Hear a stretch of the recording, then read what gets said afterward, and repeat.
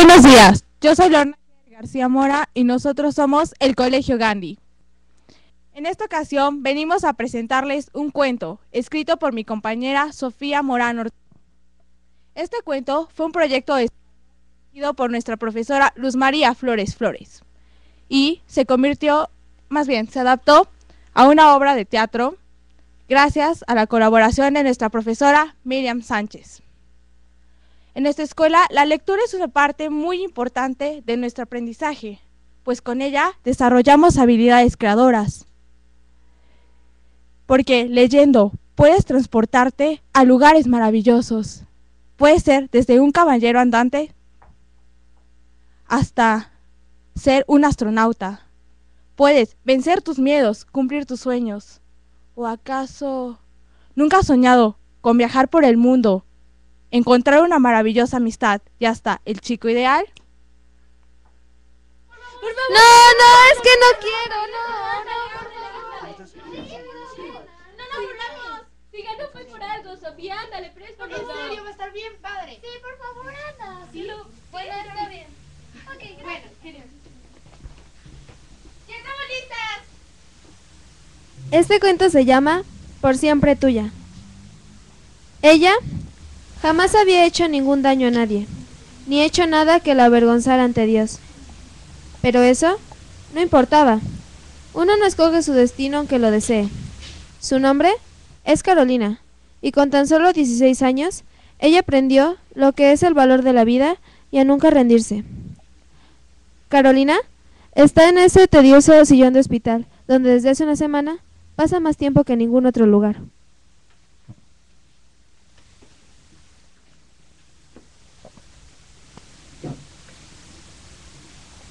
Gracias o no, nunca había tenido un diario. Durante la última semana, por más visitas que he tenido, ha sido aburrida.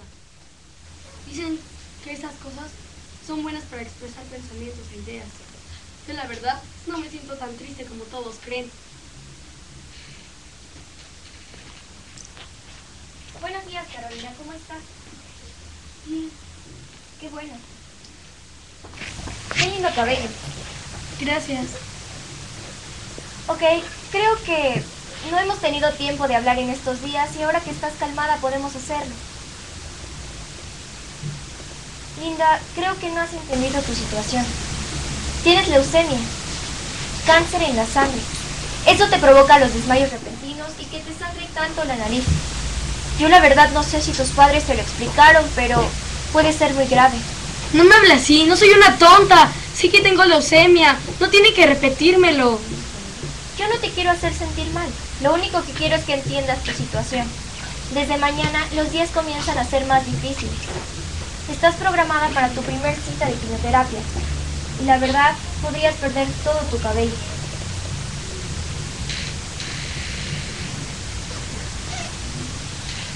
Carolina se quedó callada, un poco en afán de berrinche, pero fue más por la impresión de esta noticia.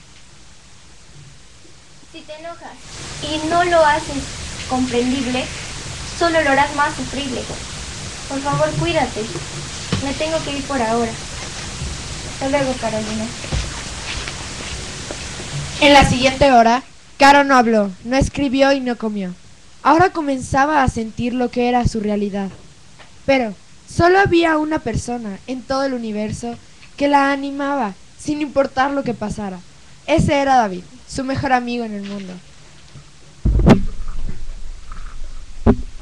¡Ey! ¡Ya llegué! Y mira lo que te traje. ¡Ya! ¡Me voy a morir! ¿Cómo crees? Nadie te puede decir eso. Y si alguien te lo dijo aquí y ahora lo matas. Nadie lo dijo, es más que obvio. No me ves, estoy aquí sola, esperando nada más a ver qué me pasa. Has estado aquí una semana, te atienden, no vas a la escuela, te visitan. Esto parece bueno, yo cambié de lugar a- contigo justo ahora. No seas payaso, sabes que lo que tengo no es nada bueno. Pues sí lo sé, pero si te fueras a morir, ¿no te gustaría disfrutar un final? ¿O reírte como lo hacías antes? Tienes razón.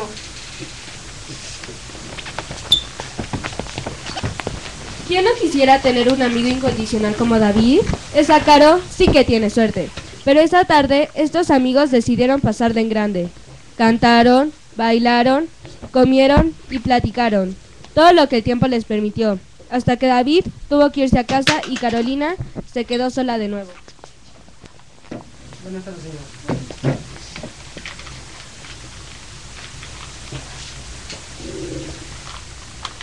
Hola hermosa, ¿cómo estás?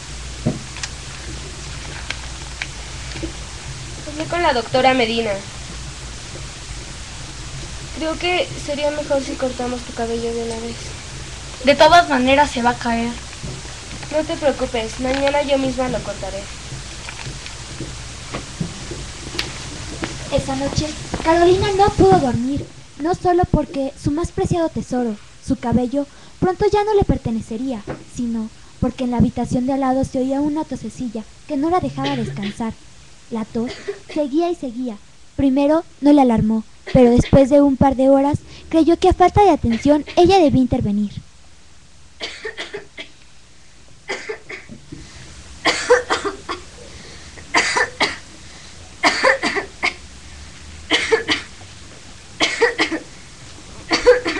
Caminó lentamente para no despertar a su madre.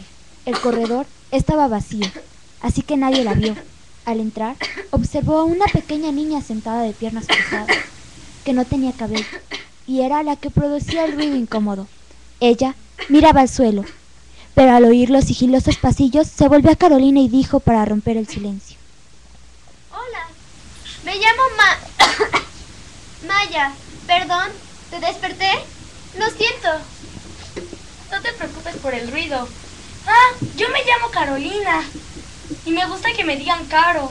¡Qué bien! Me tocó una gran vecina. Ven, siéntate. A mí me gusta que me digan Ma, aunque Maya también suena bien. Carolina sintió una sensación de ternura hacia la pequeña, aunque una tristeza intensa al mismo tiempo. Caro, ¿tú estás enferma como yo? Dicen los doctores que tengo leucemia. Pero, Caro, a ti todavía no te cortan el cabello. Todos los enfermos de aquí ya se lo cortaron. Mi mamá dice que es el último grito de la moda. Y aparte es comodísimo. Sí, lo debería cortar. ¿Mañana me acompañarías? No lo creo. Es que mañana tengo tratamientos y salgo de aquí muy temprano. Pero, Caro, tú te ves muy bien así. Y tu pelo es realmente hermoso. Mejor consérvalo. No, Mayita, no me gusta desentonar en esas cosas de la moda. ¿Y tú qué tienes? Yo tengo algo que es supermen- supremamente divertido de decir. tengo, creo que era VIH. ¿No te suena divertido?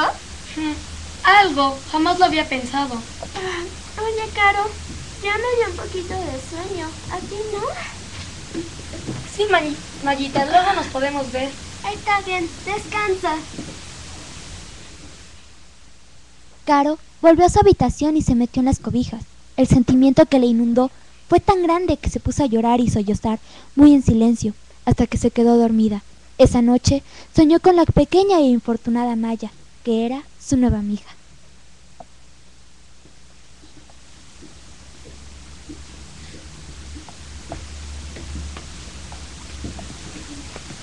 Despierten, bellas durmientes.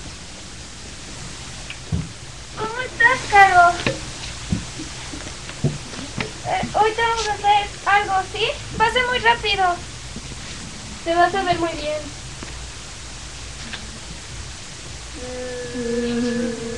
Mientras Carolina veía caer sus mechones de hermoso cabello, sus lágrimas le comienzan a recorrer el rostro.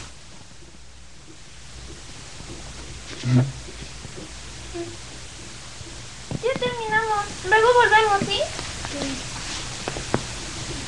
No es justo. ¿Por qué Dios me hace esto a mí? Yo no le hice nada malo a nadie.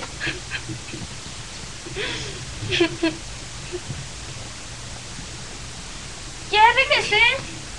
¿Cómo estás? Ese paricate te queda muy bien. Luego nos tomamos una foto, ¿va? Oye, te ves un poco triste. ¿Quieres guardar cartas? Traigo. Ambas jugaron cartas durante aproximadamente una hora, sin hablar de nada, solo riendo y haciendo comentarios de burla. Vamos muy bien, ¿verdad? Tía, ya te gané. No es cierto, yo te gané. No. No, no seas así de injusta. ¿Qué tal? ¿La revancha va? Sí, la revancha. ¿Te gustó? Sí, estuvo muy bonito. Aunque no te voy a contar el final, espero que lo hayas imaginado. ¡Qué historia tan maravillosa! Llena de valores. Y muchas sorpresas. Y no es la única.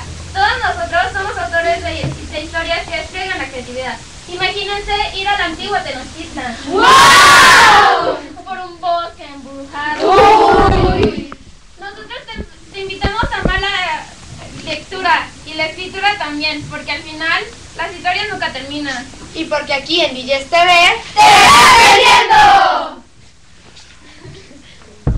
Un aplauso muy fuerte, por favor, no se vayan, no se vayan, chicas, por favor. Quédense por acá con nosotros y si nos ganamos aquí en el centro para que salgamos todos en la foto. Perfecto, ahí estamos más atrás. Aquí estamos, pero juntitas, juntitas. Eso es, calor humano aquí en DGSTV.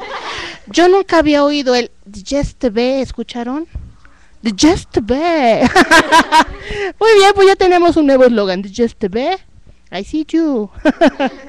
Muy bien, chicas. Nos estaban comentando, ustedes escribieron la obra. ¿Quién, ¿Quién los impulsó? ¿Quién los motivó a escribir? ¿Quién me cuenta? A ver.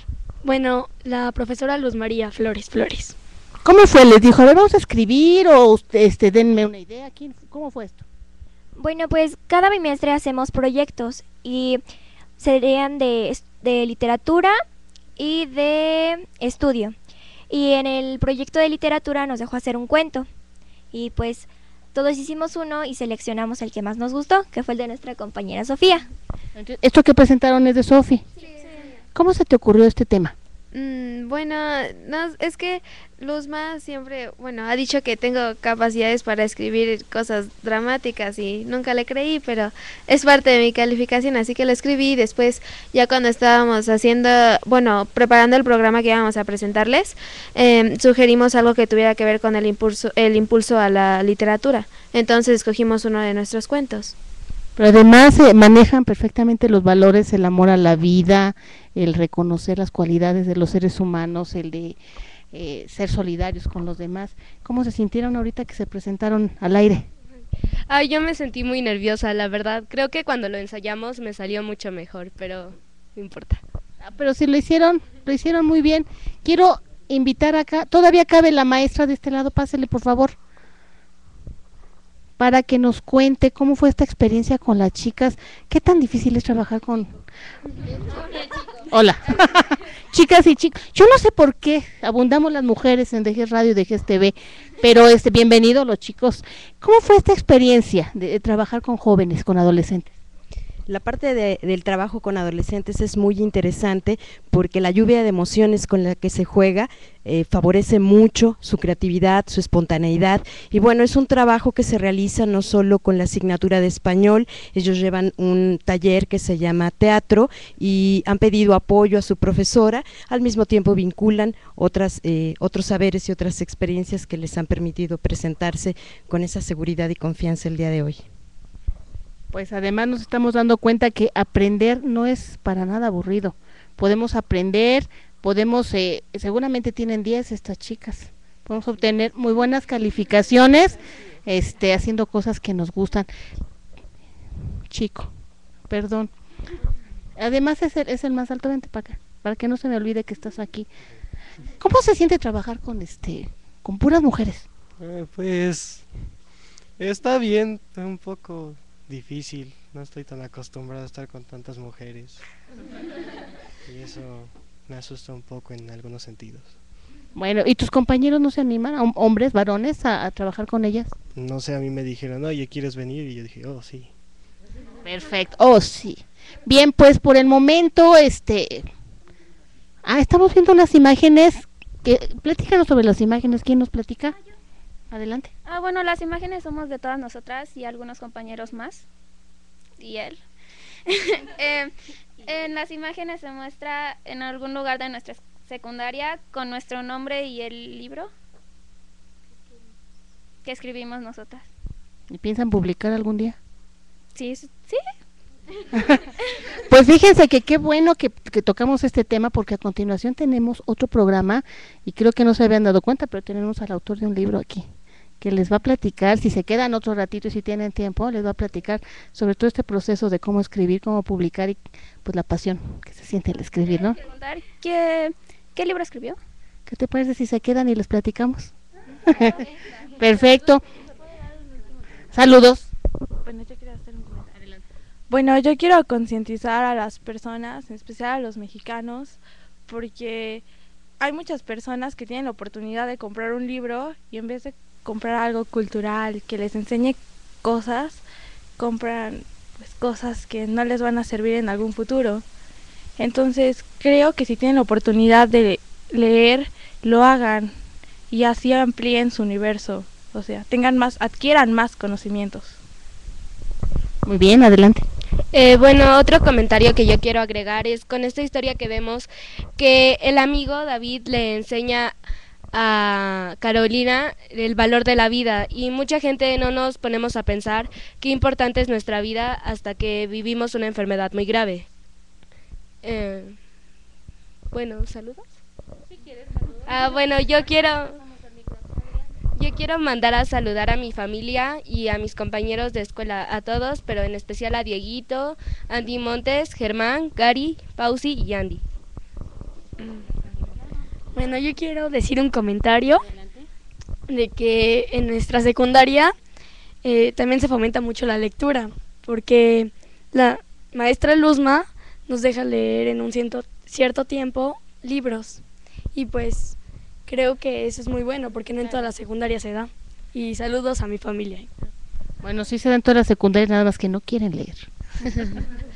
Bueno, pues esta historia la hicimos para ustedes.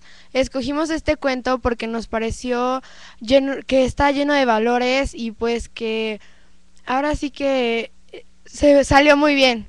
Y bueno, ahora sí que queremos felicitar a todos aquellos que leen en su casita o que, bueno, tienen ese como buen, bueno, están interesados en leer y en aprender más, porque leyendo se aprende. Así es. ¿Quién más? Ah, bueno, yo quiero decir que la lectura es muy bonita. Desde chiquita me enseñaron a mí a leer y siempre que leo me transporta a otro lugar. Eh, olvido mis problemas y es muy lindo, me emociona a veces y quiero recomendarles a leer. Ahí, ¿Puedo mandar saludos? Ah, mando saludos a Segundo B, en especial a las salsas para no hacerle más largo. Ajá, a Gary y a Oscar. Bueno, yo también quiero agregar que en nuestra secundaria es muy importante la amistad y también lo tocamos en este pequeño este sketch. Y este y también quiero mandar saludos a mi familia y a toda mi escuela. Está ubicada en la carretera libre a Cuernavaca en el kilómetro 23 y medio. Muy bien, pues así nos dan ganas de visitarlos y ver cómo están trabajando. ¿Alguien más que quiera hacer algún comentario? Rapidito porque tenemos otro programa. Adelante. Saludo a mi, a mi familia. Ah, bueno, yo soy Sofía y bueno, soy la autora del libro y bueno, no es un libro, es un cuento. Eh, me gustaría, bueno, me gustaría mucho que todos pudieran compartir con nosotros esta experiencia que es leer y escribir, porque no soy la única que escribe este tipo de historias. Hay prácticamente todos los niños de la escuela han escrito alguna vez alguna obra literaria y siento que hay muchas como esta que podrían que podríamos compartir todos juntos. Y bueno, quiero mandar muchos saludos a Gary y a mi maestra Sara y a su hijo. Yo no sé por qué las niñas mandan saludos a los niños. No lo entiendo. ¿Alguien más? Adelante.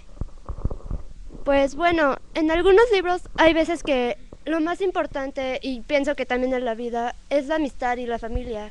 Entonces, pues yo quiero mandar un gran saludo a todos mis amigos de la escuela, a todos los maestros que sin ellos, pues prácticamente sería nada. y pues a mis dos hermanas, Ana y Marta. Muy bien, pues yo quiero saludar también a todas las escuelas que están conectadas y que vieron su trabajo. Secundaria Técnica número 7, la 5032 30, 73, la 3, 43, 56, 60, 104, 8, 69, 75, 98, 78, 22, 6, 105, 62, 10, 12, 120 y 9. ¿Algo más? Tuvieron un gran público. La técnica 62, felicidades, sin duda ayuda a valorar la vida. La técnica 78, ¿cómo se inspiraron en la obra?